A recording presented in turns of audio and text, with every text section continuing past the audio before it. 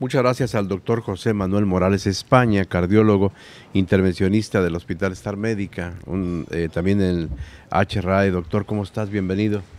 Bien, gracias bien. por estar aquí. Buena tarde, ¿cómo te va? Gracias, amigo. Buena tarde. Gracias por la invitación otra vez. Complacido de acompañarles. Pues muy bien acá eh, visitando y compartiendo un poquito de información relevante acerca del cuidado del corazón.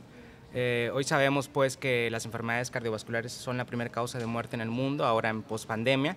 Y eh, me gustaría hablar acerca de un tema, una situación bastante frecuente uh, que, nos, que nos afecta pues prácticamente a todos, la ansiedad. ¿Qué es la ansiedad? La ansiedad es, un, es una enfermedad que se considera psiquiátrica, es el problema más común. Uh, eh, psiquiátrico, la consulta más frecuente, pero ¿cómo repercute a nivel cardiovascular? La ansiedad eh, es una situación en la cual se, se encuentra una liberación uh, de adrenalina, es un estado hiper, hiperestimulante de adrenalina y eso produce eh, algo que se conoce como disfunción endotelial. El endotelio es una cubierta eh, dentro de las arterias, de todos los vasos sanguíneos, que si se pudiera retirar de las arterias podríamos tapizar más o menos cinco canchas de tenis.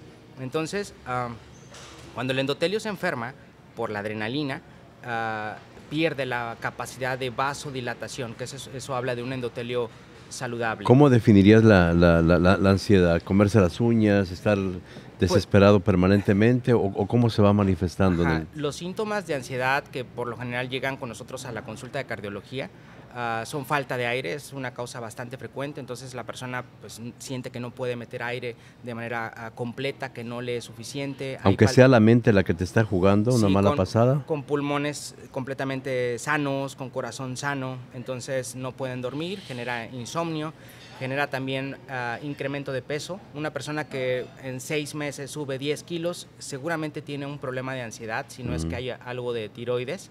Entonces, esta, esta persona que subió uh, bruscamente de peso por la ansiedad, por malos hábitos, uh, porque no pueden dormir, porque se despiertan muy cansados y con mucha hambre o con ganas de comer mm. carbohidratos, harinas. Algo dulce siempre. Dulce, sí, porque buscando. tienen fatiga mental, porque están, su mente va a mil por hora, eh, tienen aumento de la percepción, todos los sonidos uh, los perciben más, más que otros, andan completamente a la defensiva. Entonces, esto conlleva a tener eh, conductas nocivas, por ejemplo, mm. agregarse tabaquismo, empiezan a fumar, eh, entonces empiezan a subir de peso. ¿Qué les recomendarías a ellos? Ellos uh, generalmente llegan a la consulta de cardiología por presión alta.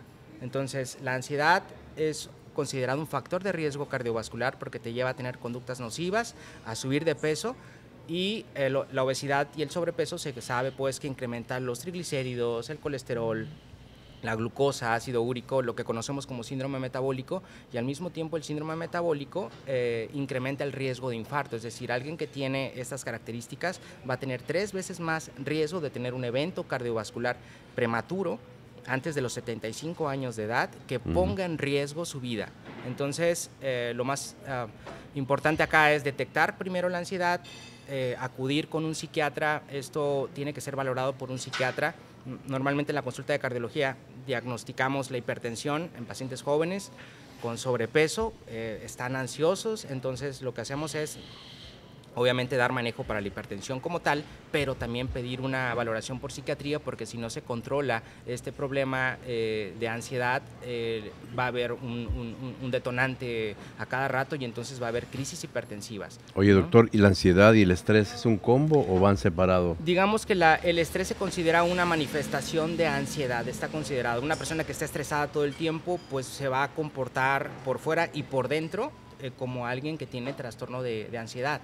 Uh -huh. Entonces, el estrés por eso eh, se considera también un factor de riesgo de infarto. Algo así como no sé qué me pasa, no me siento bien, no me siento cómodo, no me siento a gusto. Sí, intranquilo. Voy manejando y, Uh -huh. y, voy cambiando de estación, voy, voy intranquilo de manera permanente, ¿no? Lo trasladas Exacto. al sueño, del sueño a... Sueño, sobrepeso, Ajá. consumo de mucha, muchos carbohidratos, entonces eh, consumo de tabaco. Tabaco. Eh, y si Y pareciera que esas cosas le van medio calmando la situación. Exacto, aparentemente mitigan, pero en realidad lo que van haciendo es que el, que el, problema vaya creciendo y entonces eh, se manifiesta ya, aparte de esa, de esa situación que ya es bastante uh -huh. incómoda eh, para la calidad de vida de la persona, se manifiestan presión alta, ¿no? Entonces ya la persona que estaba sana, eh, orgánicamente, con una alteración eh, de, mental, o sea, de la salud mental, que es la ansiedad, ahora ya se volvió hipertensa y ahora ya tiene riesgo de tener un infarto del miocardio y de fallecer.